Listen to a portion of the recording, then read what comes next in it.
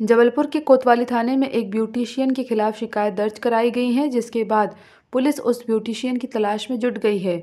मामला दरअसल यूँ है कि कोतवाली थाना अंतर्गत मोनिका ब्यूटी पार्लर चलाने वाली मोनिका पाठक ने तीन दिसंबर को एक लड़की का ब्राइडल मेकअप करने का वादा किया था और तीन हज़ार पाँच सौ रुपये भी ले लिए थे।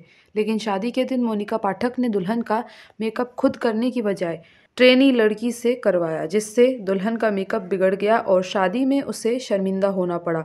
जब दुल्हन के परिजनों ने मोनिका पाठक से शिकायत की तो उन्होंने दुल्हन के परिजनों को जाति सूचक शब्दों से अपमानित भी किया, जिसके बाद परिवार ने थाने पहुंचकर शिकायत दर्ज करवाई। पीड़ित परिवार का कहना है कि मोनिका पाठक ने वादे के मुताबिक अपना काम नहीं किया और फिर बदसलूकी की गई। बहरहाल पुलिस मामले की जाँच कर रही है। सर, मैंने मोनिका पाठक मैडम से, जिनका मेकअप यहाँ मोनिका मेकअप स्टूडियो है, उनसे मेकअप करवाने का डन किया था तीन दिसंबर को।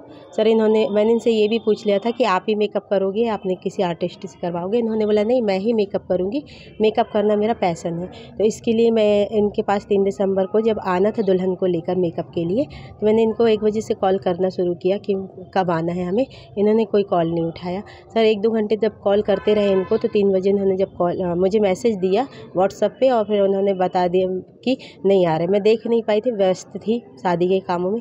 जब बार बार इनको कॉल करने में कोई रिस्पॉन्स नहीं मिला तो मैंने जब मैसेज देखा तो मैं और डर गई कि ये मैडम तो है नहीं, अब लड़की का मेकअप कौन करेगा? शादी सर एक बार होती बार बार तो होती नहीं है। तो लड़की को भी कितने अरमान होते हैं दुल्हन के। मैंने जब इनसे मैसेज पे बोला कि आप एक बार मुझसे बात तो कर लो, बड़ी मुश्किल से इनका कॉल आया, इन्होंने मुझसे बात की। फिर इन्होंने बोला कि मैं नहीं आ पाऊँगी। मैंने बोला, मैडम, आपने तो लिया था, आप ही मेकअप करोगे। फिर उन्होंने मुझे बहुत आश्वासन दिया कि नहीं अच्छा मेकअप होगा, मैं ट्रेन में हूँ, मेरी ट्रेन लेट हो रही है, जैसे ही ट्रेन आएगी मैं छः बजे तक पहुँच जाऊँगी। मैं, सर, इन्होंने बोला छः बजे तक पहुँच जाएँगे? तो फिर लड़की को हम पार्लर लेकर आए। इन्होंने अपनी नौ सीखी लड़की जो भी थी उससे बोल दिया मेकअप करवाने के लिए। उसने मेकअप किया। इनका वेट करते रहे, वेट करते रहे कि ये आएँगी। इनका वेट करते करते हम लेट लेट भी हो गए बारात में, वापस जाने के लिए ये मैडम बिल्कुल नहीं आई। मेकअप इतना गंदा करवाया कि किसी, हमारी समाज में और बदनामी हुई कि इतनी सुंदर लड़की का तुमने कहाँ से मेकअप करवा लिया। मैम को मैंने पहले बोल दिया था कि लड़की हमें बिल्कुल नेचुरल मेकअप चाहिए। है अगर इनको नहीं करना था, ये ये पहले भी बता सकती इन्होंने कोई इन्फॉर्मेशन नहीं दी, कुछ नहीं दिया और फिर उसके बाद जब मेकअप हो गया हमारा, इन्होंने पैसे के लिए बोला, मैंने बोला मोनिका मैडम से बात करेंगे, उनको देंगे। फिर उसके बाद सर इनके मैसेज कॉल आने लगे, पैसे दो पैसे दो, पैसे को लेकर इन्होंने इतनी अभद्रतापूर्ण बात की है कि तुम नाव हो नाव हो ऐसा है वैसा है बहुत गंदे गंदे लीचड़ हो पता होता तो तुमको भगा देते अपने पार्लर नहीं आने देते ऐसा ऐसा ऐसा बहुत गंदे गंदे तरीके से बात की। पैसों का तो सेकेंडरी मैटर था लेकिन आपको सर्विस तो अच्छी देनी चाहिए थी। सर्विस देना आपका काम था आपका वर्क था आपको देना चाहिए था इन्होंने नहीं दिया सर उसके बाद अभद्रतापूर्ण तरीके से इन्होंने बात की। आज हम यहाँ पर शिकायत दर्ज कराने आए हैं कि मैडम जो हमारे साथ अभद्रतापूर्ण बातें की हैं उसकी हम शिकायत जिनका मेकअप होना था? सर मेकअप मेरी बहन की बेटी का हुआ है। और मेकअप इनके पास मैं ही आई थी डन करवाने के लिए। तीन दिसंबर की शादी का बुक करा मैंने अक्टूबर में इनको डाउन पेमेंट पाँच सौ का एडवांस पेमेंट पेमेंट कर दी थी इनको।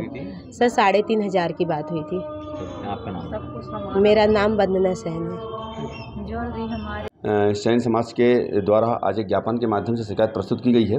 उसमें बताया गया है कि राधिका सेन जिसका विवाह होने वाला था और दुल्हन का श्रृंगार मोनिका पाठक, ब्यूटिशियन से करवाना तय हुआ था, पैंतीस सौ रुपये में। मोनिका पाठक द्वारा स्वयं श्रृंगार न करते हुए अपनी अधीनस्थों के माध्यम से श्रृंगार करवाया गया, जो उचित तरीके का नहीं होने की वजह से इनके द्वारा जब शिकायत दर्ज कराई गई तो मोनिका पाठक के द्वारा अभद्रता गाली गुप्ता एवं जातिगत रूप से अपमानित करने का प्रयास किया गया है तो शिकायत पर वैधानिक कार्रवाई की जाकर आपराधिक प्रकरण पंजीबद्ध किया जा रहा है। जबलपुर से आशीष बात्रे की रिपोर्ट।